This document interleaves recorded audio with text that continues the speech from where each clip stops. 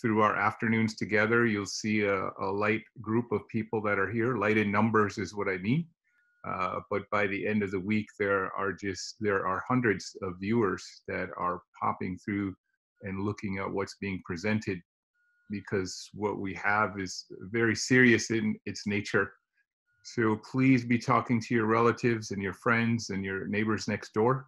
And if there's questions that they have for us, represent them. Don't be shy. Uh, so with that, welcome to Native Strong. Again, thank you for being here. And I'd like to turn this over to Dr. Lyle Ignace. Uh, he is our main host, and he has a lot of information to share, certainly from last week.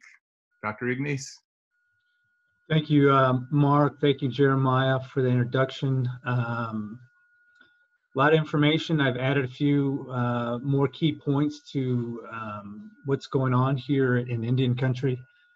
And so, as always, I usually speak from kind of a worldwide perspective and bring it back to uh, Wisconsin. So, as of yesterday, uh, worldwide, uh, 8.2 million cases uh, of coronavirus. This is a 14% increase from the week prior. Uh, the number of recovered is a little over 4 million. This is actually, a, there's been a huge increase in, in this in the terms of, of who has recovered.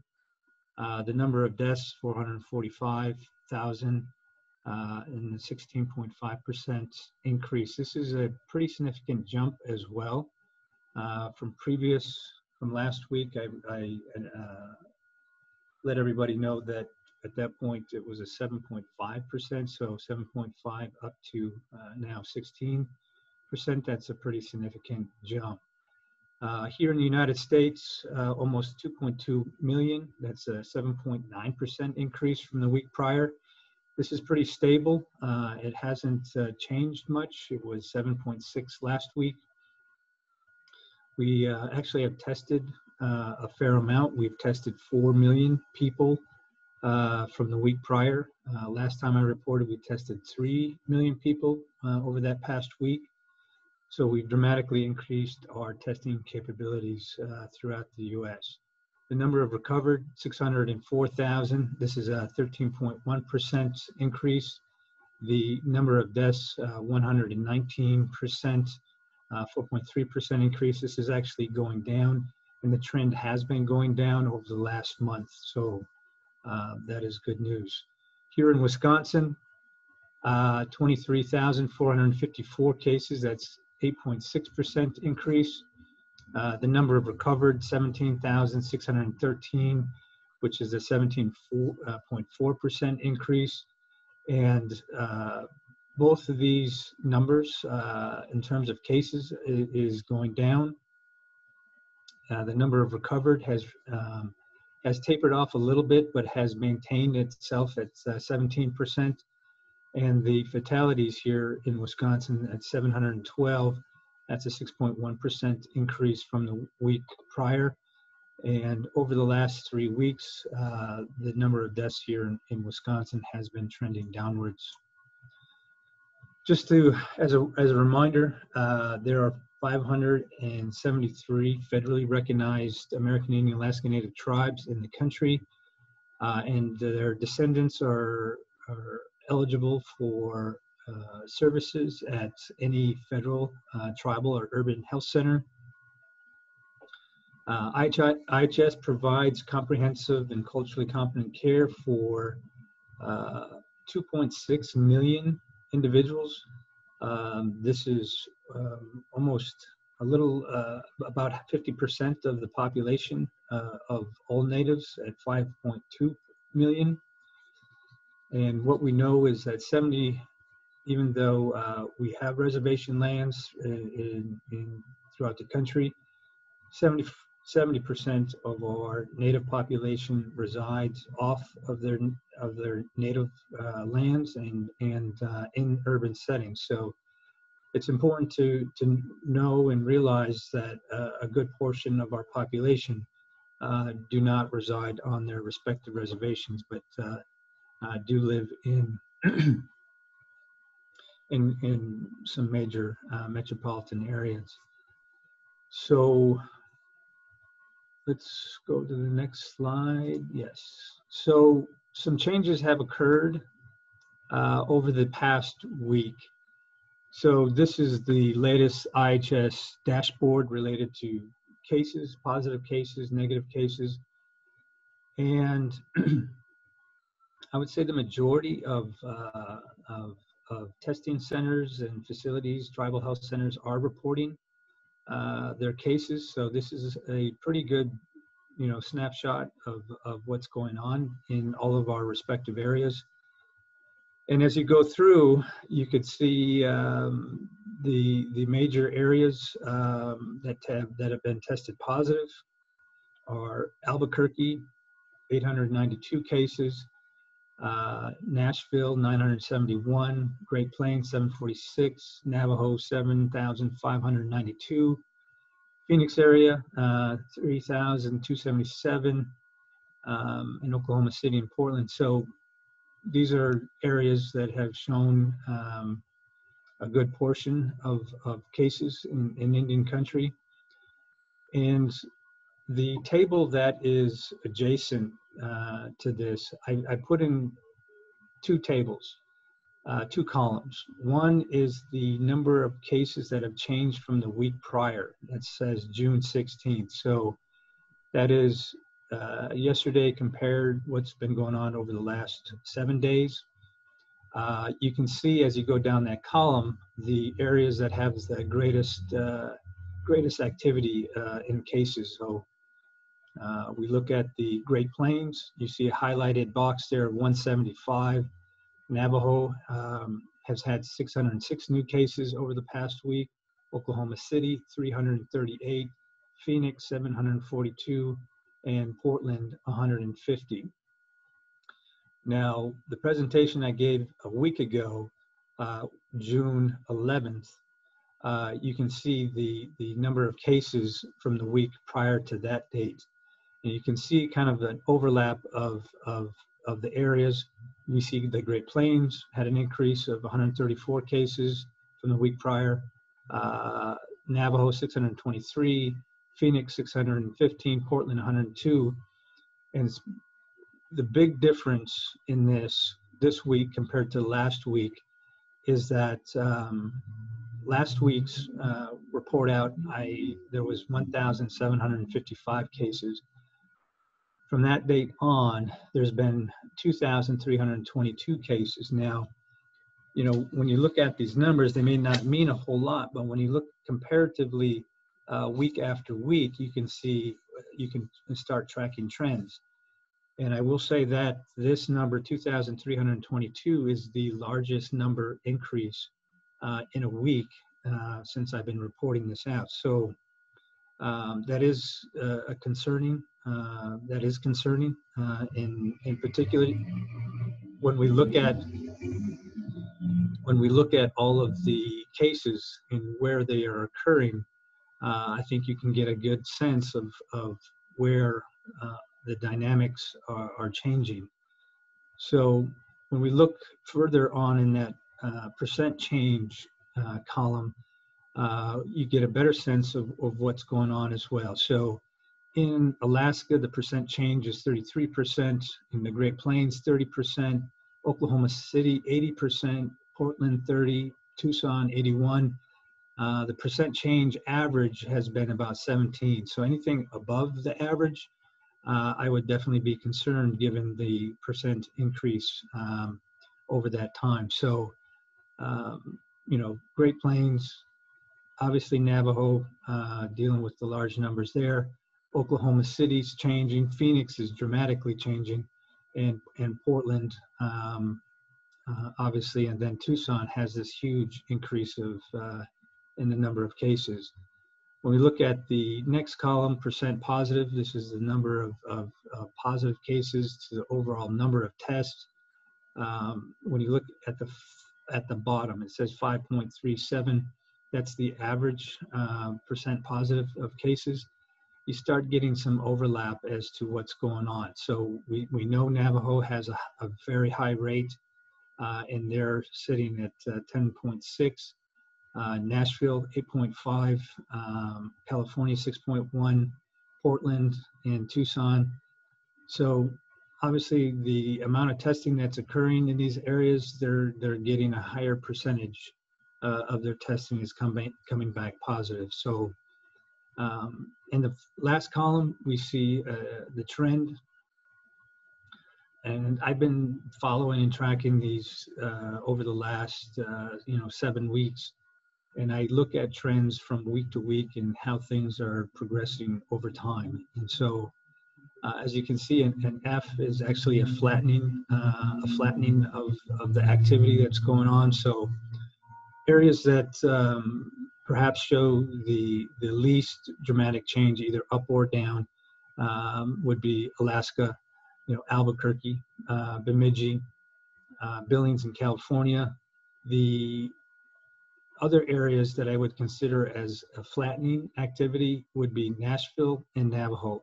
Now I know they have a lot of numbers in Navajo, but I think uh, looking at at least their progression over time here, is that they may be flattening out. They may be peak, peaking, uh, and let's hope this is the peak of, of their activity and hopefully start seeing uh, Navajo go down on, on the other side. So um, the areas that I'm that I'm see as the most concerning are the Great Plains, and the Great Plains would be like North Dakota, South Dakota, uh, um, uh, Kansas, uh, and Nebraska.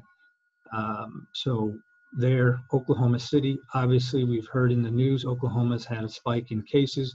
Well, I think you can see where some of that is occurring, uh, certainly in, in, in, Indian country, that part of that contribution is, is due to uh, natives. And so there's a trend in Oklahoma, Oklahoma City area. We're looking at a trend, obviously in Phoenix, we hear about Arizona, the state of Arizona, uh, you know, do do realize that um, uh, Phoenix uh, does include um, uh, Utah and Nevada, uh, as well as the state of Arizona. So Phoenix isn't just Arizona, but collectively in those three states. So there's been a, a continued progression of cases in that area, as well as Portland and in Tucson. So, um, you know, week to week, you know, it's hard to see uh, the forest through the trees when you look at numbers on a day-to-day basis. But when you start looking and compiling information on a weekly basis, you can definitely see uh, the activity and the trends that are uh, that are ongoing. So, um, um, so those are my the areas that I um, I would be uh, highlighting and um, concerned about its trend. Next slide. So looking back at the Bemidji area, and we'll just go around the horn in terms of what's going on in terms of, uh, of cases and activity. So we see uh, here in Wisconsin, uh, the number of cases, uh, 23,454, that's an 8.6% increase from the week prior. Uh, this is actually uh, trending downwards, and it has been trending downwards uh, for the last four weeks. So this is good news. Um, reporting out from the number of cases from one week prior, there's 1,861. This is actually a little over 300 less or fewer cases uh, than was reported out the week prior. In Mich Michigan, believe it or not, um, you know, in the beginning they were dealing with very high numbers, more than any other state in our area um, they have definitely peaked and they are on the downslide. So as of right now, they've had a 1.9% increase in the number of cases. Uh, from a week prior, they've reported out 1,115. So this is a pretty dramatic change uh, for the state of Michigan. Uh, and this is, um, they've had uh, 2,500 less cases reported this week than the week prior. So hopefully this is something that sticks uh, for the st uh, state of uh, Michigan and continues to trend even further and down. Uh, in Indiana, 38,337, 6.9% um, increase. This is uh, um, about the same as it was the week prior. And roughly, if you believe it or not, almost like three cases uh, more than last week. So uh, nothing has really, at least dramatically changed in, in the state of Indiana, and they've been maintaining themselves uh, pretty flat. So in Illinois, uh, 1,300, 134,118. That's a 3.3% increase from the week prior. Um, they're reporting 4,328 new cases from the week prior. This is actually 2,600 fewer cases than the week prior. So for the state of Illinois, this is uh, a really dramatic change for the state um, and uh, has been trending downwards for the last uh, four weeks. So uh, this is certainly uh, ideal uh, for the state of Illinois. In Minnesota, um, they have 31,296 cases, 8.4% um, uh, increase from from the week prior. They've had 2,427 new cases. Um, so that is that is good news, and uh, they have been trending downwards as well. So everyone has been trending downwards um, for the last uh, uh, three weeks, which is all good news. Uh, Indiana has has flattened out right now. Next slide. If we get uh, a little closer look in terms of uh, native country in in Michigan, you may need to click a few to highlight the tribes. Yes. So when we looked at the tribes of, of Michigan, the 12 tribes and the counties, respective uh, counties that they reside in, uh, as I reported out, they've had a fairly significant drop in the number of new cases uh, in Michigan, which is great.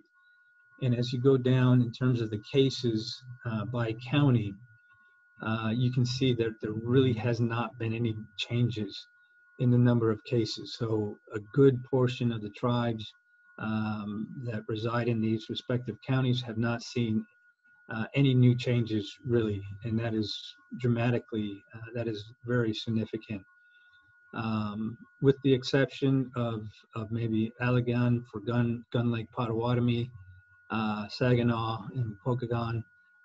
Uh, these are obviously they reside in counties that are that have a, a very a larger mixed population uh, in their area, so it's hard to uh, infer uh, if these changes are, are are native related or not. So, um, you know, it's it's hard to say, but when we start looking at the reported out cases. And, and now Michigan, this is the second week they've actually been able to report out on the number of native uh, native cases in, in the state. So um, if you look at the bottom here, it says uh, total native population, um, 241. So this is, they're reporting out 241 cases. This is nine cases more than the week prior, 3.9%. So uh, given given kind of the overall picture of, of natives to everyone else in the state. Um, when they report out over 1,100 new cases, only nine of those uh, are designated as being native. So that is a good that is a good sign um, that maybe things are slowing in, in the state of Michigan. Next slide. So we get to Minnesota. Um, and we see the 11 tribes uh, uh, that are in their respective counties in, in Minnesota. Um, slightly different uh, story to tell here. Um, the counties um, have have shown, you know, incremental increases in the number of cases, and the majority of, of counties have uh, shown increases. So, but they're modest, and so whether or not these are directly related to uh, the native population, uh, unable to say, but I would say for the most part, um, the tribes, the tribes that do reside in these counties, um, have at least the trend is is flat uh, or downwards. So there, Minnesota's uh, Department of Public Health is reporting 269 um, cases. This is 38 new cases compared to the week prior and a 16.5% increase, which is uh, for, for Minnesota and the number of, of natives that are being reported out. Uh, this is the single most uh, increase um, of, of natives in the state of Minnesota. So um, a little concerning, hard to say if it's a trend. I hope it's just a one, one-off and that this uh, uh, goes the other direction. So uh, next slide. Back here in Wisconsin, uh, the we have our 11 tribes here with their respective counties. Um, just about I would say for the most part, Wisconsin has remained fairly quiet uh, in, in terms of the respective tribes and, and, and the counties that they reside in. Um, Oneida, of course, uh, has an overlap of, of two counties, uh, Outagamie and Brown.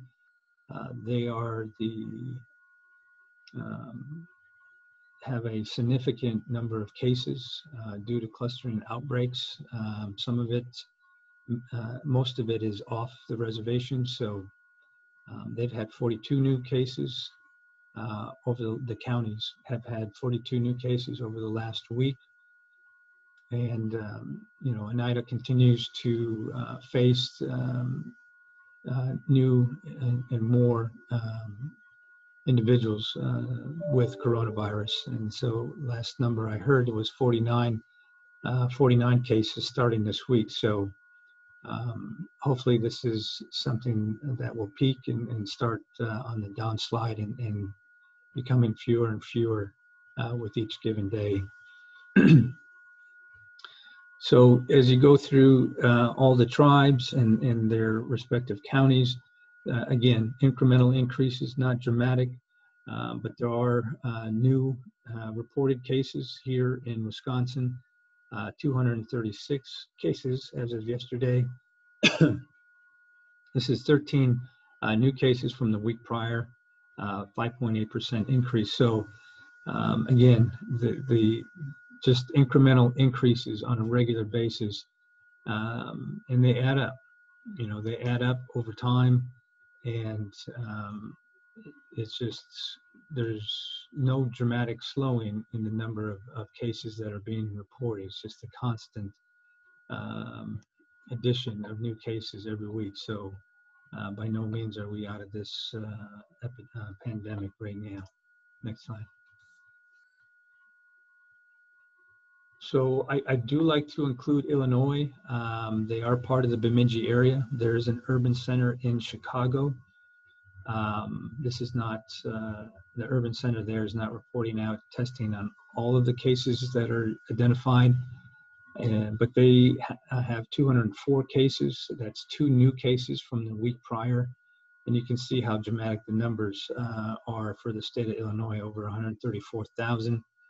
Um, the four main largest counties, McHenry, Lake, Cook, and Chicago, uh, have the greatest number of cases. Um, that's in the uh, northeast corner, just south of uh, Wisconsin, and uh, the borders uh, two two uh, major counties, Kenosha and Racine, which also has a pretty dramatic rise in, in cases as of lately. So, but when we look at the, their public health data, we can see that. Um, they do a little better job in displaying demographics.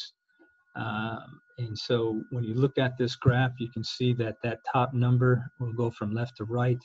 Uh, that top number uh, that says nine, uh, that's the number of native cases uh, um, that have been diagnosed uh, uh, less than 20 years of age. Next column is 26. Next age group 29, 32, 47, 30 uh, 19 and 12. So between this week and last week, there really has not been any dramatic change. They've only had two new cases, which is good. Um, but at least we get a little more insight into not just how many natives have, have coronavirus, but um, um, you know what what's the age distribution that uh, we're seeing, and obviously that helps uh, target uh, our efforts to, to minimize. So uh, next slide. When we look, uh, bring it back here to Wisconsin, um, this is uh, the, from our Wisconsin Public Health website. American Indians, the number of cases is 236. As I mentioned, that's 13 new cases from the week prior, 5.8% increase. And um, the number of fatalities related to coronavirus has been zero. Uh, it has been zero for the last three weeks, so that is uh, that is good news. But um, again, this incremental increase. Uh, you know, the week prior, uh, it was uh, 223. The week before that, 212. The week before that, 186, 151, 90. So it, again, not huge dramatic leaps uh, in, in in terms of cases.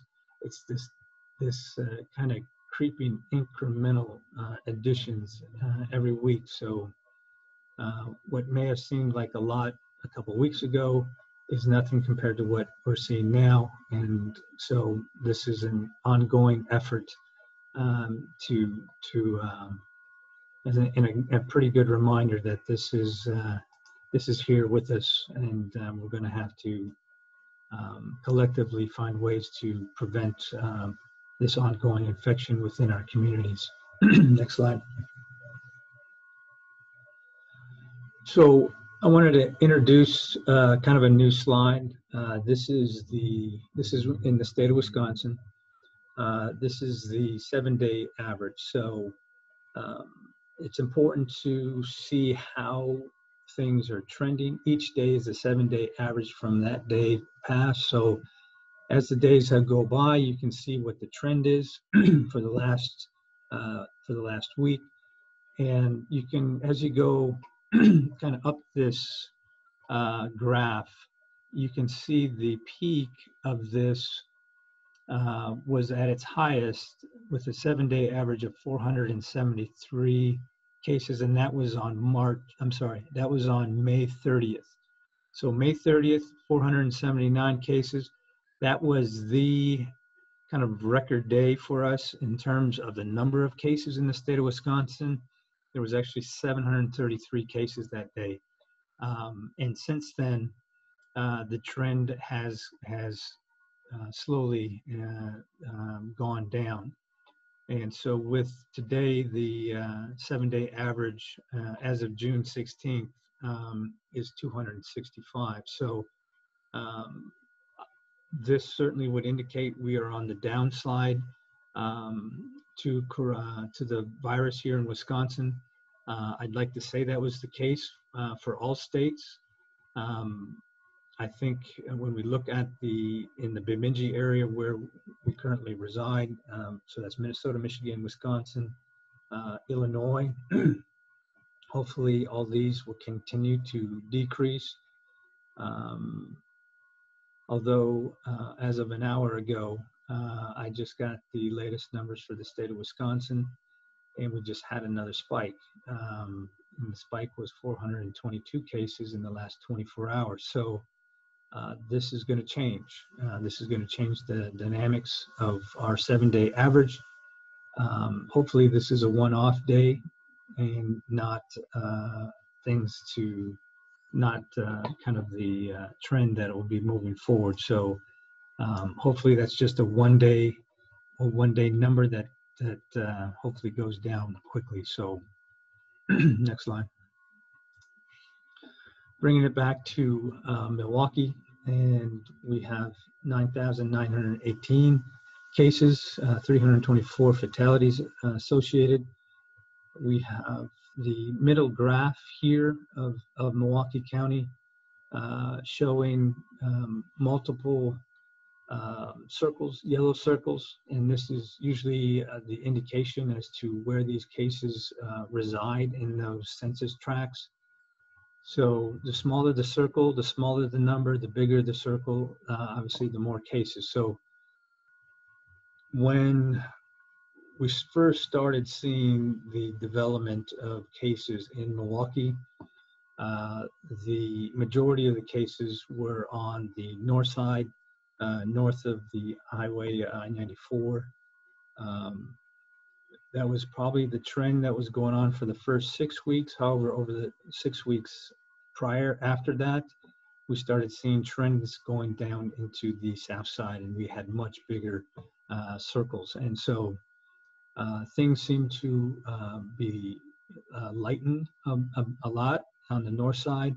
And now we're starting to see a lightening on the uh, south side. So uh, these, you know, circles on the south side, when you highlight and click on those, they are in the low teens. So like 10, 11, 12, 14. Um, not certainly not the way it was even three weeks ago when we were dealing with 40s, 50s uh, in these areas. So uh, they're becoming fewer and fewer. Uh, I wanted to draw your attention to the two middle slides on the left and right. so on the left, you see the number of cases by age group. So you have the less than 10, 20, 30, 40 age groups, 50, 60, all the way up um, you can see the the this kind of bell shape is kind of skewed, what we call skewed, or looking more uh, to the left, and and it's skewed to the left, meaning obviously there's more more concentration of numbers uh, in these younger age groups. Um, given the current environment and, and, activities that are going on, not just in Milwaukee, but throughout the entire country, uh, there's a good possibility that we may be seeing more and more of this skewing going uh, really spiking to uh, the younger population. So um, with the, the increase in cases um, that we just saw today, uh, it's quite possible we may be seeing the beginning of, of that going on. On the right-hand side, I'm sorry, go back one. If we go to the right-hand side and the total number of deaths, so we do know that the high-risk individuals older you are, the higher the risk, and certainly the uh, the outcome um, is is uh, uh, more dangerous uh, for older age groups. And so, even though we may be seeing a lot more younger cases, uh, that is not um, directly showing um, the you know, poor outcomes and, and, fatalities in our younger population. So, um, good, uh, good that we're not seeing um, the high cases in the young people resulting in, in high mortality either. So uh, next slide. So here in uh, the Milwaukee County, uh, we have race and ethnicity breakdowns. And so uh, on the far left, we have the Hispanic and Latino numbers, then the our African American community, white, and then as we go further to the right, uh, the second column to the right, that is the American Indian Alaskan Native column of, of 35. Uh, here in Wisconsin, or the, I'm sorry, here in Milwaukee County, that's still 0.4% uh, uh, of the number of cases. So still small, but again, every week we're adding new cases, new cases, new cases. And so um, from the week prior, uh, it's been six new cases uh, that have been um, added to this column. So uh, it seems to be a never-ending story, but uh, is a reality that we're going to need to face uh, every day. So next slide. so as a reminder, um, um, we know we know who the individuals are that are at risk uh, of not only uh, severe illness but also um, um poor outcomes as a result, uh, ages uh, older population, 65 and older, individuals uh, at a much higher risk um, who reside in a nursing home or long-term care facilities, individuals that have underlying chronic uh, care conditions such as cardiovascular disease, um, high blood pressure, uh, lung disease, COPD, certainly people with COPD that are on, that wear oxygen, uh, we're also uh, talking about moderate to severe uncontrolled asthmatics, uh, immunocompromised individuals uh, who uh, have underlying cancer or undergoing treatment for cancer, uh, transplant patients, uncontrolled diabetes, kidney problems, liver problems, um, autoimmune diseases, um, people who may be on corticosteroids. Um, so a lot of, you know, um, a lot of uh, diseases uh, that that may render your immune system uh, uh, weak um, are certainly at risk. So the the dynamic of this hasn't changed, uh, but but is a good reminder uh, who we need to pay particular attention to uh, and and who we need to help protect uh, the most. So next slide. So here at at Glick, we are trying to be proactive as much as possible in, in the prevention and the mitigation. Uh, we offer up um, uh, personal hygiene kits and cleaning kits. Um, we've just been able to commandeer um, uh, a fair amount of hand sanitizer. Uh, so with these cleaning kits of, of bleach and um, um, laundry detergent, um, bars of soap and hand soap. We're also going to be including in these packets uh, hand sanitizer as well as face masks. So these cleaning kits are going to be, you're going to need them. Uh, you're going to need them for ongoing, even this week, next week, next month, probably for the foreseeable future. But these will have the essential items that you will need to help protect yourself and your family at home. Uh, so we're going to be offering that up starting next week. Um, and if uh, you feel uh, a need to to to get or need uh, items such as uh, please don't hesitate to call us at 414-316-5051 and ask for Alicia Terry. She'll help uh, and organize a, uh, a, date and time for that pickup for you. So um, please do that our uh, youth empowerment uh, program. They are actively engaged. School is out, which means kids, given this time, kids don't know where to go, what to do, and, and you know, uh, they're going to get bored. So in this time, we're becoming more and more virtual. And so our youth empowerment programs, uh, looking at uh, daily youth challenges uh, by social media, so please uh, stay tuned and engage in these activities. I do know they offer up um, some some some daily prizes. So um, if you participate, you certainly have an opportunity to to get one of those uh, great prizes. So um, they're looking at a virtual youth uh, summer camp, and this is going to start in July. Um, so pay uh, please pay attention to the dates uh, when that will start. Um, they have Seasons of Change uh, Teenage Girls meeting every Wednesday. Uh, this will be ongoing in. In July. Um, they're looking at uh, perhaps a face-to-face interaction to uh, virtual and maybe uh, considering alternating. It really depends on the dynamic, uh, but they want our young our young women to to get involved and interact and be social. team groups. Um, they're looking at uh, three uh, personal gatherings uh, over the next couple months in July and August. So uh, please pay attention to the dates, times. Uh, follow us on Facebook on, or our social media or our website. Or our, yeah, our website. And um, if you have any questions, Stacy Hollister is our director, and uh, she can be reached at that number 316-5050. So. Um, a lot of activities that are there to help support our, our Native youth. Next slide.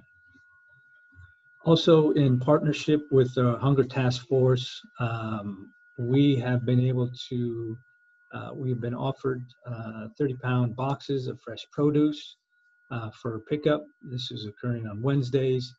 Uh, please call us to pick up a, a box on these days. It is free. We want to help support healthy living during this time uh, a lot of fresh produce uh, for for um, families. So um, uh, better than going to a fast food joint, and it's healthier, and, and on top of that, it's free.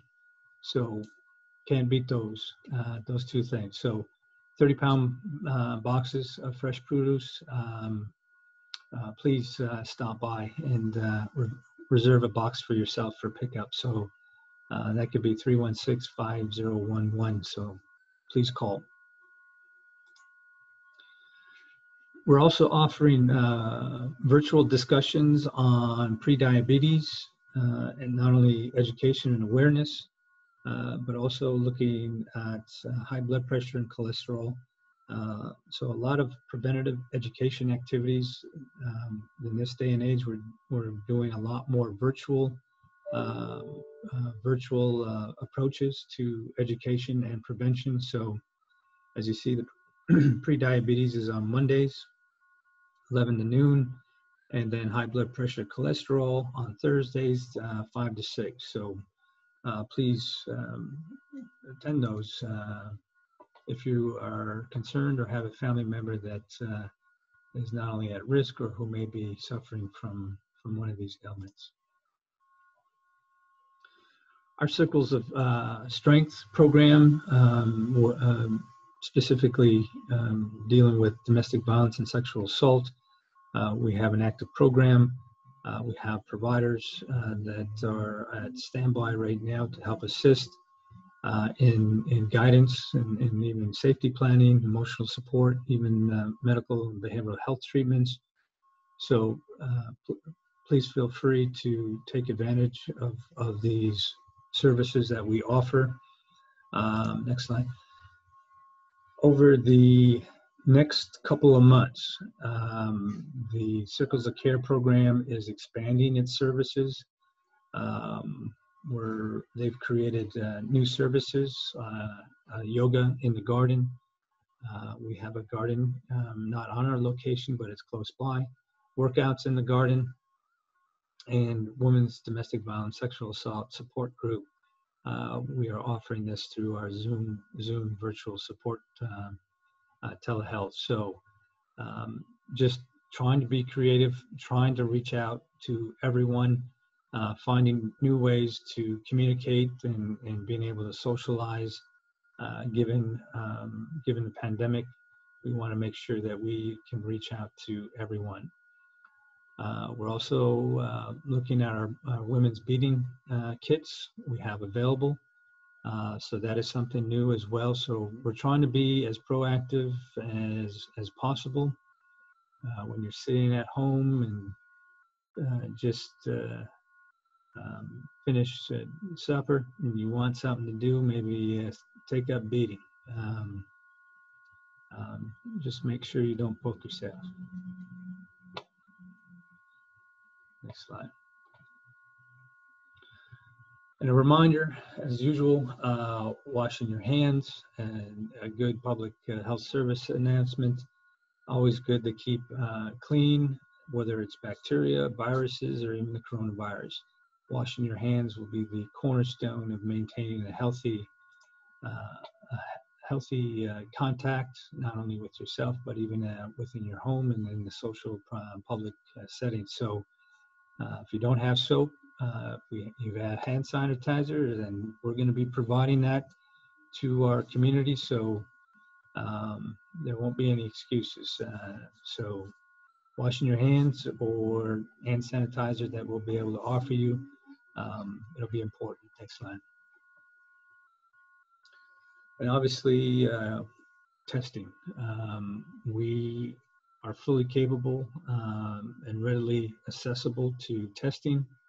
Uh, the only thing we ask is that you call ahead to set up a date and a time uh, um, after you are, have been assessed and evaluated. Uh, we will get you uh, set up with the appropriate test um, for either you, uh, your loved one, or your family or relatives. Um, doesn't matter. Uh, just call us and we'll, we'll help coordinate that effort. Obviously, the most important aspects are, and signs uh, is, um, and I'm sure we all know this, but it's fevers, uh, cough, uh, short of breath, sore throat, headaches, extreme fatigue, body aches, muscle aches, joint aches, nausea, vomiting, even diarrhea. And uh, we've had cases of, of people just presenting with the loss of smell or taste. So, as as as minor as that may seem, um, they did come back positive for the coronavirus. So uh, no no symptom is is to be ignored. Uh, everything will need to be taken into consideration. So Uh, it's important that you pay attention to self, to yourself, because you may not have all of these symptoms. And that's what we're finding out is people don't always have to have all the symptoms. People don't always have to have a fever. Some people don't even have a cough. Maybe they just have a headache, and maybe they have lost a smell, lost a taste, or maybe their joints hurt. That's unexplainable to them, which is new, and maybe they have nausea, vomiting, maybe they have some loose stools, diarrhea. Uh, it can be any combination of any of these. It does not have to be 100% across the board for all of them. So if you feel like you have a sign or symptom of coronavirus, please feel free to call us uh, 383 uh, 9526 and we will, we will set you up. And our testing crew, our frontline staff, we're happy to assist. Uh, we take your calls, we assess you, we do the intakes, we set you up, we test you, we, we pat you on the back, and, and um, we'll, we'll be there to help support you um, not only in testing, but also in contact tracing. And um, you will get a call back from one of us to ask how you're doing if you have the virus. Uh, just because you get tested, it's not, not uh, you're not done. You're not done with us. We will continue to uh, inter intervene in your life to assure that uh, if you do have the virus, that you are not alone and we will help support you um, through through not only education but uh, what to do at home and and how to do it and what you uh, can do to help prevent your family. So please don't uh, hesitate to call us. And with that, I will turn it back over to our dynamic uh, duo of moderators and uh, take any questions. Dr. Ignace, we got a, a question that came in uh, in writing, and it is exactly right on. Uh, as you know, summer months are upon us. I know that there's some, been some leadership phone calls and a lot of uh, discussion around our ceremonies, and a lot of discussion about when we go home to visit relatives. You know, the homes meaning reservations, if we head west, maybe a couple hours north, two hours, six, seven hour drives. And, and the question is, hey, we did everything we could in our house. We cleaned our clothes. We're, we're, set, we're, we're as clean as we possibly can. You know, we're ready to go. And, and what do we need to know when we're, when we're going to hit the road? So as a dad, I know that we've taken those trips back home over and over again since since we were children, or maybe they just arrived in Milwaukee and they're going back and forth. Uh, we know where the gas stations are that have hand this uh, this dispensers after you're done with the gas pump. They're they're attached now to pillars where you can clean your hands after touching the pump. We know that we should be packing our own food instead of kind of multiplying our exposure to uh, possibility of transmission. We also know as families that when we're when we're kind of around people, you've constantly shared, assume that someone has it. Uh, so I'm wondering if you have some additional kind of tips or insights for people that are going to take those journeys uh, to mm-hmm. see their relatives this summer, and they're thinking, "Hey, we did everything we could, and now we're going to hit the road." And the moment that car starts down the road, uh, what should mom and dad be looking for? Yeah, so you know, this is you know, summer months, schools are out, and people want to you know traditionally have taken their uh, summer vacations or their su- summer journeys and expected uh, activities, normal activities.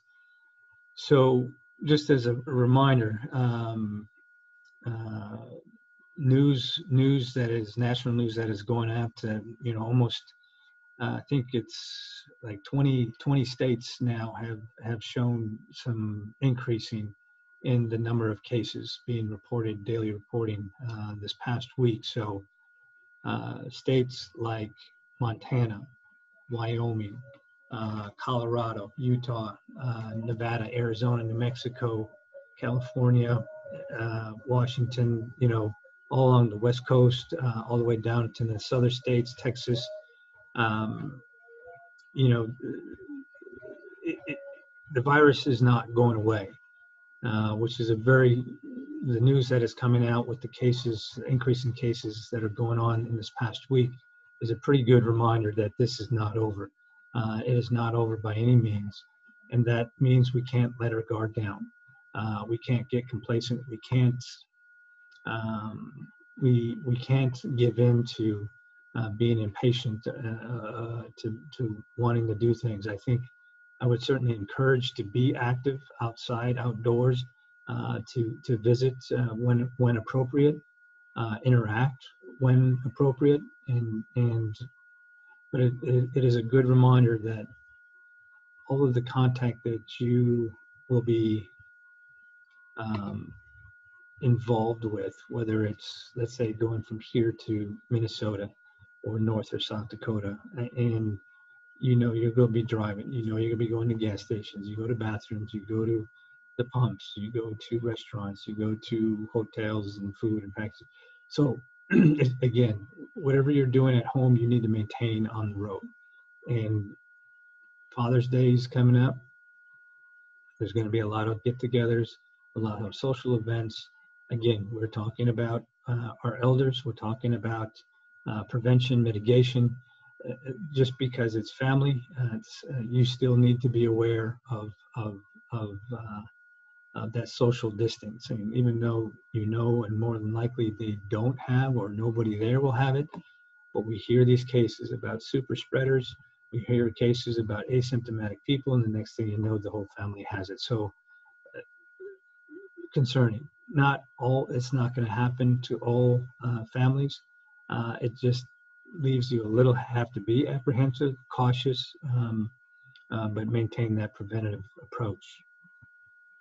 I want to follow up on that one, especially when we put together the information that you carefully show for the first 45 minutes of our program and that is uh, May 30th, when there was a spike in the state of Wisconsin.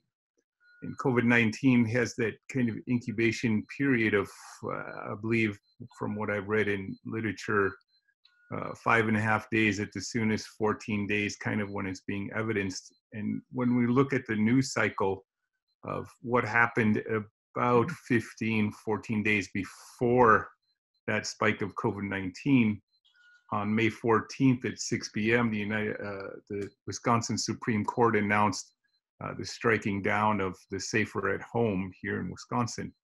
And, and there it was, uh, just within that incubation period, mm-hmm. a significant spike. Uh, I think that is very important that parents, if we're looking out after vulnerable people, that, that we recognize and look back at where those spikes are and why they're happening mm-hmm. and understand that it not be just happening on the day where the spike is occurring, but what has happened before. And where I'm headed with this is uh, this past weekend, you were at a, uh, a vigil mm-hmm. that our Native community was having, sponsored by a lot of different organizations um, at the Ogama campus, uh, Potawatomi land, right here in the middle of Wisconsin on Milwaukee's north side. And what you saw were a lot of interactions between a lot of people. And I was wondering if you might uh, have some insights. You, you attended a couple days for, for a period of time. And if there are some vulnerabilities or, or things that as Native people that you witnessed as Native people are gathering on our terms. Uh, and I will say this, the vigil that was held has, there is now a new presence in Milwaukee instead of marches that there are now social justice vigils being held and that that those vigils are just arising this week uh, we also know that a lot of the black lives matter advocates and organizers attended our native vigil and we're happy to see those vigils start to rise in number but it's a new factor in how people gather mm-hmm. and what they're doing rather than just kind of marching through the street in great numbers. Now they're going to be gathering together. So I'm hoping if you have a couple insights on that kind of thing, should someone want to attend uh, a vigil either tonight or as they're growing going forward. Sure. So, um, Mark, as you mentioned, there's kind of two points I wanted to make. So May 30th, uh, that was about a week after um, a week after Memorial Day, and so there was a fair amount of travel interaction that was going on at that time. So uh, it, it, wasn't um, it wasn't um, surprising to see that there would be a spike. Uh, I, I, think maybe it was a little surprising to actually how many cases uh, came of came of that opening. Um, and but since then, the the the numbers have slowly gone down. So I think there's just a, a much more heightened awareness of of protection um, actively going on now. And so even though we may be opening up and more interaction and more engagement, I think there's a there's a there's a stronger sense of, of needing and willingness to now uh, kind of conform to to prevent preventing uh, transmission. So if that means a face covering or some kind of mask or um, or um, I, I, think the, the general sense is most people when they're out in public or in social situations that they are going to be wearing uh, that type of uh, protectiveness. And, and and that kind of goes into um, uh, you know certainly the the unity fire that we uh, uh, that that I attended with you there. Um, you know in support of that I wanted to at least not only be part participate but also be kind of an observer uh, of activity and how the, this interaction was to occur. It was it was in a an open field uh, outside uh, the whole time. Um, if there was any interaction, there was plenty of distance uh, amongst everyone. Everyone wore a mask. Uh, during this time, there was hand sanitizer available. Um, there there wasn't much you know physical interaction of, of handshaking or um, you know uh, even you know quick hugs and and and and such which isn't our normal interaction you know our, our normal social behavior but i think there's just a good understanding that people need to keep their respective distances to one another I think we all respect each other's spaces and, and certainly in, in that pre- preventative uh, protection with the mask. Um, and my sense of, of, of risk uh, actually was pretty low. Um, and I, believe me, if I felt there was a, a high risk, I, I would have, you know, made a comment to, to maybe correct some behavior, but um, everyone there, I think, understood what needed to be done and they followed it. And um, it was it was also good fortune that to actually have a supply of masks available to people so they can just pick it up and uh, not only for adults but also for kids. So again, it is the game right now is protection and prevention, and it's something that that shouldn't that I and and even the gathering that were there uh, you know, I think when I was uh, at the time I was there, there was no more than 25 people, but there was definitely enough spacing uh, amongst us that you know we weren't uh, shoulder to shoulder, but we were you know more than arm's length in both directions from one another. So uh, I thought the interaction was perfect, uh, and um, the event was great, and um, I think everyone was respectful of, of each other's space. I just want to follow up with the, the comments and say thanks for, for being there for one, and also that folks take note of, of if we are going to enter into these ceremonies, that there's there's older ways that still mm-hmm. stand, uh, and in particular are helping us today. And by that I mean when we had the fire, uh, that unity fire, it was over 24 hours, so we had plenty of foot traffic but we wanted we didn't want any large group or have a large entertainment venue nor did we advertise any of the, the ceremonies that were happening in the time of them uh, we tried to keep that to a minimum of the folks that either were involved in some way or had a role in it. Mm-hmm. uh, so so i'm just because this is a native to native conversation and how things are done those those fires are not where we collect in one place for a very short number of time attracting lots of people. They're they're widespread. So at any one time we did have lower numbers but over time there was a great amount of people that came from very diverse parts of milwaukee so with that in conversations that i had during that vigil one of the questions came from some of our elders they're receiving meals from different areas of milwaukee Mm-hmm. Uh, some coming from IGNE, certainly some from Indian Council of the Elderly.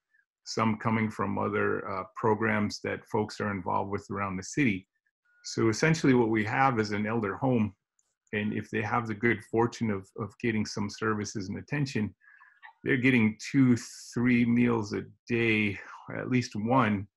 But the sources of those meals are coming from very different places with very different hands Yep. and with people who have their own exposures to COVID 19 and whether they have it or not may be asymptomatic carriers, the very people that are delivering food to our homes.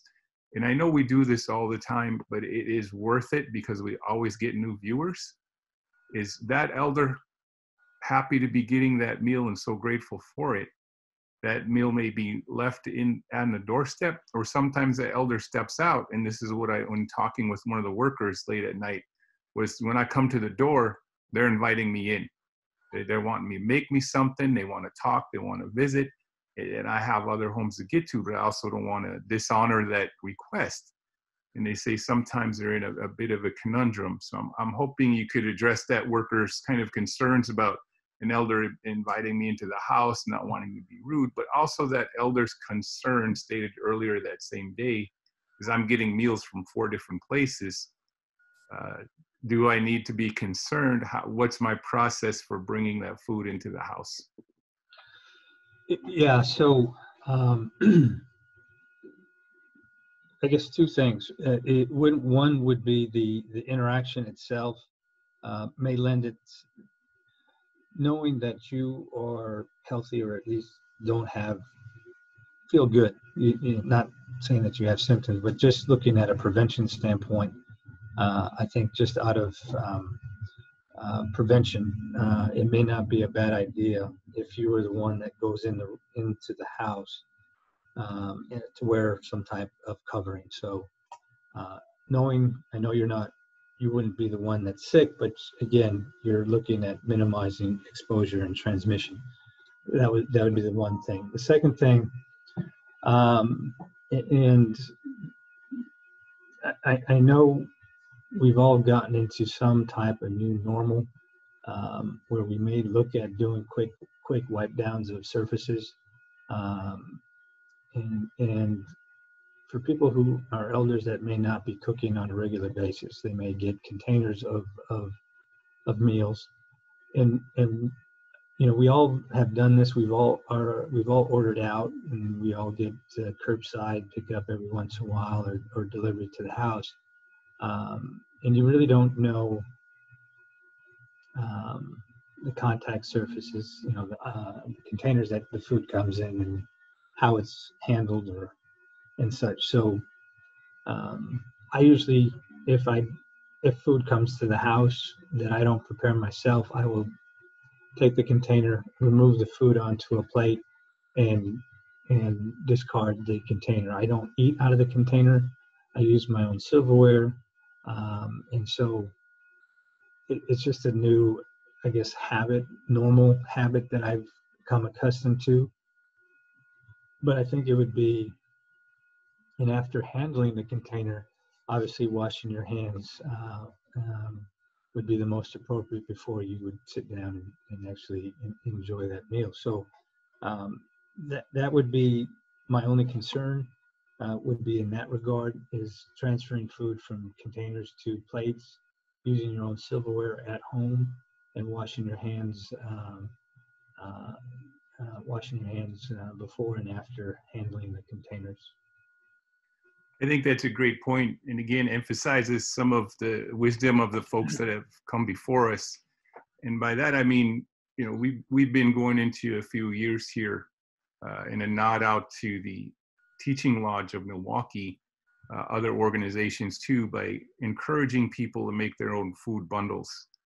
Uh, that's something that that's an ancient and a very old tradition. We don't know how far back it is, but when you're traveling to another place and there's food that's being put out, the utensils, the bowls, and things that you're using belong to you, and you're the one who's cleaning them. You're the one who's policing up your area uh, and minimizing those contact surfaces. So it, it's pretty neat to be hearing in this native to native conversation a reaffirmation that some of our tribal practices are helping us with mm-hmm. today. And we saw a lot of that at the, the vigil where people bringing in their own uh, bundles of food, um, their own food bundles of plates and bowls if they were going to run into everything. And we also saw individually wrapped items. Um, and we saw folks at ceremonies where food would usually be shared amongst many, many people. We saw that a community plate was created and that stood in place of food that would have been shared. And that was a symbolic gesture, and people were encouraged to bring uh, four foods that we usually use for our ceremonies.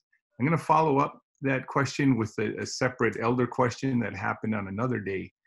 And that was, hey, when I, I get that food delivered to my door, um, I know that I can't eat it. I'm, I'm not eating as much as I used to, but I, I, I appreciate it and I know I have food for tomorrow. I'm going to put that food in the freezer and get it out for breakfast. Uh, is that understanding correct that freezing kills the COVID virus? Um, no, uh, freezing actually may preserve it. Um, so, um, you know, chilling it, freezing it, uh, it actually may slow its uh, inactivation or destruction, or and uh, freezing it may actually preserve it. Um, um, probably the better way to assure the destruction of any germs um, is microwave.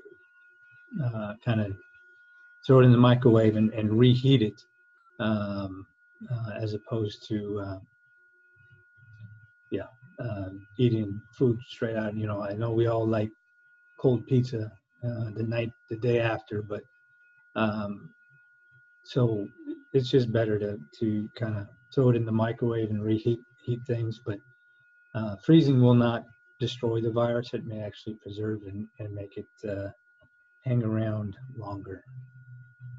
One of the discussions we were having around the fire, I came in late to this one, so I didn't hear it all. But the concern with the elder folks that were, were talking was their own health conditions. Mm-hmm. And it mm-hmm. seemed to them that their health conditions made them more vulnerable to COVID 19 uh, they were saying if, if we looked at the things that make someone vulnerable to COVID 19, more vulnerable, age amongst them, uh, they also saw heart disease, diabetes. Could you address some of those health concerns where, boy, somebody is, is being careful, but maybe they should be extra careful, especially in our Native community with the number of health disparities we have compared to the United States population in general? Yeah, so I, I, and I think this is um, in in communities of color. I think we we we we do this um, um, quite often. Is uh, multi generational living, um, the interaction of, of, of, youth helping and assisting our elders, uh, whether that be in transportation, whether that be you know taking them to the grocery store, making runs for our family members. Um, those are all good things, and and certainly in time of need, it is helpful. Uh, but again, we we know who are at risk. Uh, we know individuals of age and uh, of chronic conditions who are uh, at a higher risk than than others. There's as much as they are part of your family, I think you need to still look at at prevention. And so um, again, that hand sanitizer keeps coming up, face coverings, uh, masks keep coming up. Um, um, so, you know, I, I have stories of cases, how I suspect cases come about, even though our, our elders may be protecting themselves, staying at home, and really limiting contact on the outside. And um, a couple cases have have come up. They don't know how they got it, um, but they do know that you know there are individuals that may come and go from the house, uh, that may make runs for them, that may get food, that may go to the you know the store or uh, maybe you know hardware store or something to bring back to the house. And even though they may not be uh, the people that are helping, they don't mean to or uh, uh, incidentally be asymptomatic and have have it and that exposure is enough um, for a population that is already at risk um, just a, a, a, strong reminder of how protective we need to be. Um, and it's more out of respect for the people we are interacting with, especially our elders, as opposed to ourselves. So it's important to ensure that we have those coverings when we're uh, when we have these interactions. One of the pieces that uh, also came up during discussion was some wonderment uh, questions about this. Six weeks ago, a lot of folks didn't know anybody that had COVID 19, mm-hmm. and, and, now they do. Mm-hmm. Uh, in, in their wanting to visit, they're, they're wanting to, to check up on someone who's living alone and, and does have it. Uh, what suggestions would you give to someone who's concerned about the elder, vulnerable person, or just someone who's living alone? They have friends and relatives that want to check in on them. And, and I know just, it, and again, the strength of our community is that we rush to that place. We hmm. want to clean it up. We want to wipe the walls down. We want to do dishes for them. We, we want to make sure that they have two, three days of food ready to go. Um, but now we know they have it mm-hmm. and maybe they're related to us maybe there's there's somebody we love they're they're only two doors down how, can they safely interact with that person how can they, they safely check in uh, when they do and, and what kind of questions should they be asking when they're doing the check-ins on that person that does have covid-19 so I, I think it's important that um, going into a a household that does have it. Um, and I know this is going to be hard because this isn't in the general public. Um, but if you know you're going to be interacting with an individual, uh, the face coverings and the face surgical masks actually aren't good enough in prevention. You want an N95 mask. Uh, and these are these uh, these are these medical grade filters masks um, that are used very specifically to minimize people and exposure and, and um, uh, transmission when you know someone has COVID. So those are the N95 masks. And so it it's you know if that was to occur, I'd say an N95 mask. Um, try to find one. Try to find one if you really want to be in interacting with an individual who who has has the virus. Uh, a surgical mask can help when you you know just in a general setting when you don't know uh, in terms of a short interaction that can be preventative. Um, but sometimes people double up on stuff. They can wear a surgical mask and a face covering. So the interactions may be brief, uh, they may be quick, um, I'm not saying you have to hold your breath when you go in the house, but um, it, it, does need to be deliberate in, in terms of its interactions. And um, um the interactions may be here are your items. Uh, you know, I could drop them off. Call me. I'll be right outside. We can talk and interact with person in the house versus in person, second person being in a car, and still have at least a social interaction, even though it may be 20 feet away. So when, when that advocate is that health advocate, that elder advocate person is, is giving them a call or checking in, are there some questions that, that for you as a doctor, you, you're hoping that that's an extension certainly of healthcare is, is what's exactly is happening with that person? What kind of questions would you suggest that that mm. advocate be asking when they're in that presence of that person to person or phone call visit? When they're saying hey how are you? The person just says fine uh, what kind of questions would you like to be hearing yeah so kind of the the biggest things that i want to know are um, if they feel like they have fevers if they've been checking uh, their temperatures uh, a fever, uh, an elevation, anything over 100 certainly may indi- be an, an, indication that things are still very active. Um, as and certainly if someone has, let's say their fevers or their temperatures back to normal, um, it may be a good indication that they are getting better from that perspective. But the, the biggest hallmarks that I want to know um, is do you have a cough and are you short of breath? these are probably the two biggest questions that you can ask. Um, you know, anytime we get a cold or a flu, or even bronchitis, um, you know, we get a cough. You know, cough, cough, cough, cough. But this type of cough, it's different. It's a different sense of a cough. Um, it feels like there's a chronic irritation that comes from from that upper chest to to the throat and cough cough cough but nothing comes out you know it's not like having pneumonia it's not like having bronchitis when you cough and stuff comes up. This is a different it is a dry minor mucus generating cough. Nothing comes out on top of that i want to know if someone's short of breath. To be short of breath with coronavirus is a pretty good indication that this virus is directly involving the lung tissue itself and the and the smaller air cells that exchange um, um, may be um, highly inflamed and involved. So people can be short of breath. I mean, with this virus, that would be a really good indication that this is more serious than just a, a normal cold.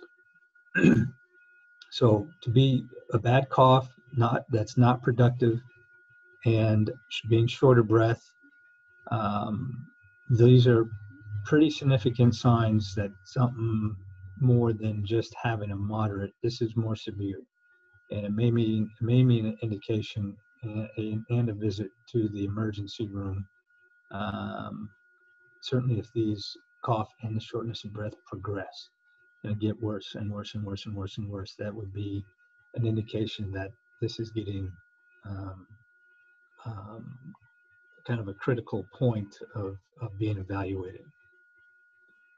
Now, question, can, yeah, go ahead. Sorry. Yeah, so people can have headaches. They can have a sore throat. It comes and goes. Sore throats are okay. Headaches, as long as they're not debilitating to the point of of, of you know, I can't move my arm or leg, you know, you're going to be tired. You're going to be fatigued. You're going to take a lot of naps. You're, you're going to have muscle aches, joint aches. You're not going to have an appetite. You may have loose stools and you're not going to have a taste or smell. These are all kind of go with it, but those aren't as bad or severe as if I wanted to know about your cough and you're being short of breath. Those are the things I really want to know uh, that will help gauge whether or not you're getting worse or you're getting better. Uh, let's say they get that information and it's concerning to them. They, they have one or two of the things you're talking about. And this is a person who says, um, as a lot of our elders are, well, I don't want to be a bother to anybody. You know, mm. I'll, I'll, be, I'll be fine. I'm watching. Once that person gets that information, what do you, what do you want them to do?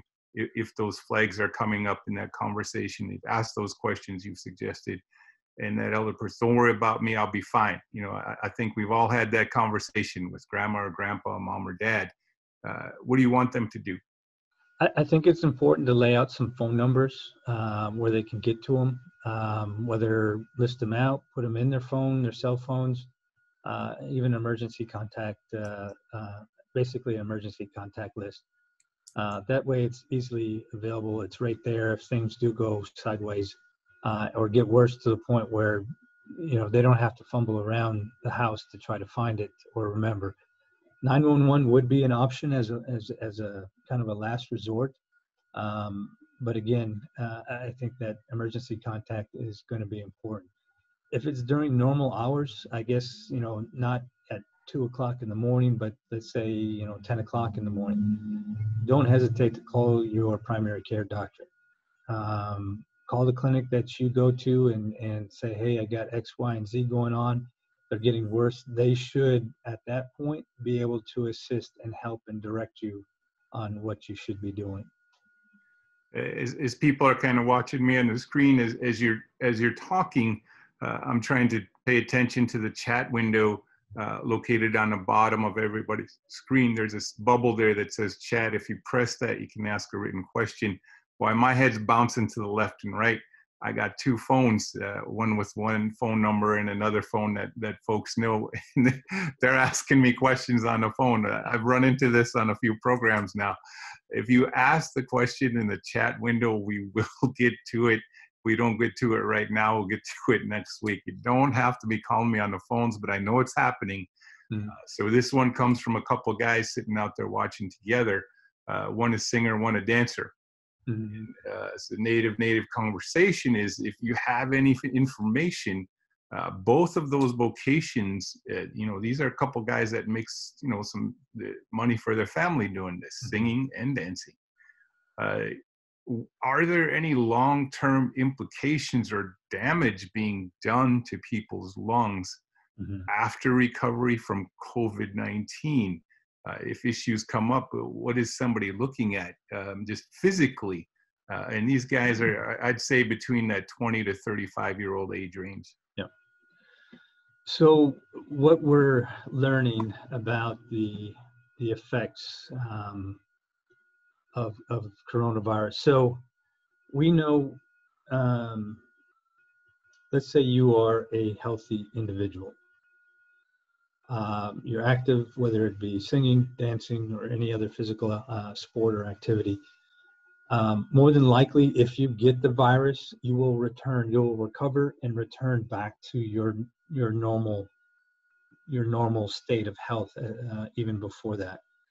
However, there's a subsegment of individuals, and and we're finding out it, it almost it doesn't matter if you're extremely healthy, super um, world class athlete to even underlying chronic conditions.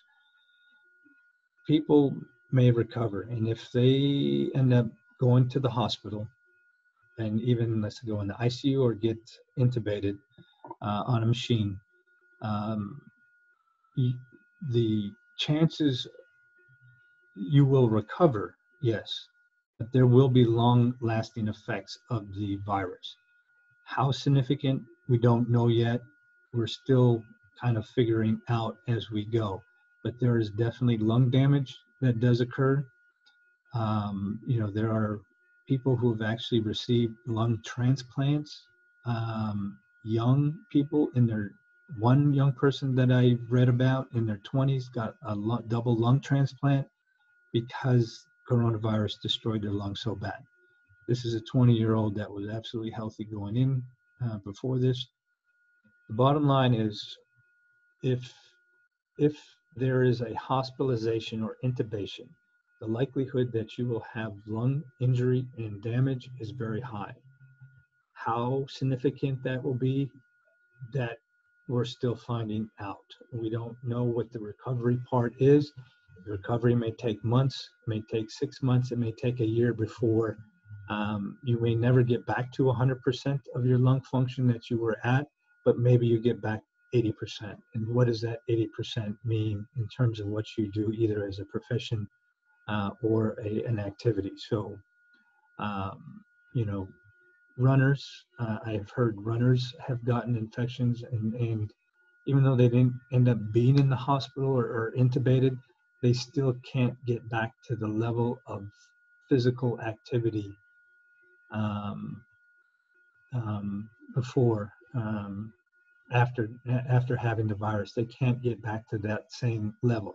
They can get to some of that level, but not the full.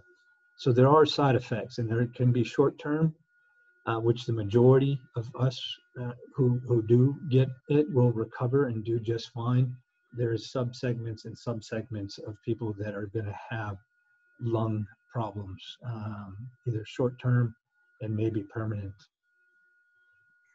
uh, Dr. Ignace, we're, we're, coming close to the, the time where we're going to close out. We, we try to end at 4.30, mm-hmm. uh, but I, I do want to let everybody know in your humility and, and, certainly the organization that it was the Gerald L. Ignace Health Center that gave us the childhood uh, masks to fit children so they would do mm-hmm. well and adults as well, and, and we do appreciate it and by we i mean there is a host of people besides me just talking right now to to put that together in organizations and uh, in exchange for that you know certainly we don't exchange money on that kind of thing but but we'd like to work with your staff uh, in putting together feast bundles, uh, Hmm. COVID 19 awareness kind of thing.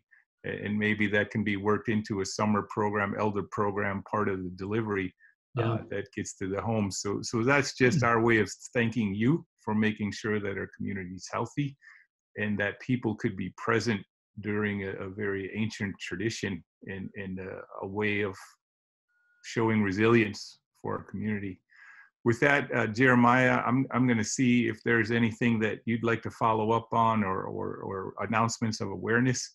And the very last voice, everyone out there, you're going to be hearing from Dr. Ignace. So I am out for my segment. Thank you for your time and patience.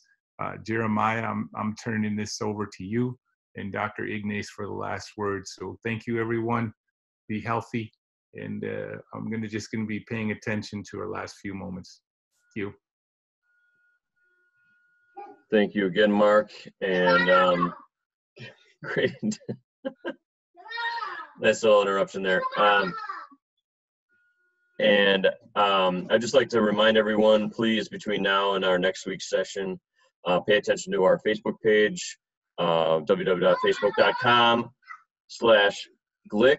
Um, also, if you would like to be on the Zoom account or on the Zoom presentation um, with us, we are sending that out via email, um, via our newsletter. So if you'd like to join in and be part of our newsletter, please go to our website. You can uh, subscribe to the newsletter there. Um, just a little different, you know, interaction there. Uh, we do also, we'll also be pulling, posting the full recording of the our session here on our YouTube channel. And again, it is always uh, available um, pretty much uh, as long as we can keep it up there on Facebook uh, for the time being. So uh, with that, I will uh, pass you on to Dr. Ignace once again. Thank you all for coming and joining us today. Thank you, uh, Jeremiah, and, and, and thank you, Mark, for your, your moderation and, and your, your um, certainly being your humility and, and being able to provide and, and shape these questions in a way that I think I'm able to answer them to, to everyone in, in, in a way that I think everyone can understand.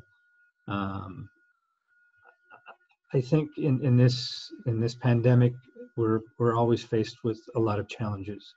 Um, we're, we're faced with even the daily questions of, of what we what do we do today, what do we do tomorrow, uh, what are we going to do next week, um, and not just from a family perspective. I think from from from just a community activity, uh, from an, a community as a whole. How do we how do we move forward? How do we get through all of this? And and I, I think I mentioned the, the number for the state of Wisconsin uh, spiked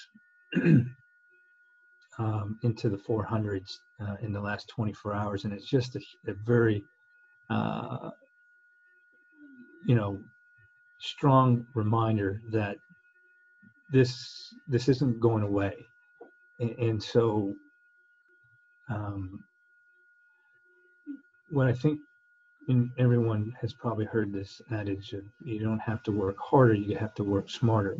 And so, how do we work through this? And I think interactions and, and discussions like what Mark and I have had in, in helping um, helping one another in, in support of what we feel is important, not just as individuals and families, but from a community standpoint and tradition and, and, and, and maintaining that cultural activity. You know, uh, I think I'd, I had mentioned this once where this may be one of those times where the interface of, of traditional and cultural uh, approaches to Western medicine, it, this may be th- that time um, where there has to be this interaction, this integration of, of, uh, of prevention and mitigation n- needs to occur. And I think um, you know if it's uh, if it's if this is something that Mark and I can help create, I'm all for that because I think at the end of the day, um, we as Native people need to continue and maintain those traditions and those cultural ways, and I'm all for that, and I know Mark is all for that, and I know our community wants that, and so uh, whatever putting our brains together to try to figure out how this works uh, is makes it ever even more important now uh, um, and, and how we maintain those. How do we maintain those uh, those those traditions of of, uh, of culture that we can pass on? So always look at prevention. Always look at um, how we can open those lines of communication. Uh, um, because I want uh, our, our communities to be not only active, um, but maintain a level of, of activity even before this, but do it in a smart and effective way that keeps us all uh, strong. So um, I appreciate uh, everyone listening and um, please uh, pass on to, to your friends, families, or anybody who wants to know more about uh, natives talking about uh, the um, the coronavirus that's going on, please feel free to pass this on. We would be more than welcome, uh, welcoming to have uh, anybody come on and listen and, and, ask questions. So thank you, and and until next week, um, stay strong.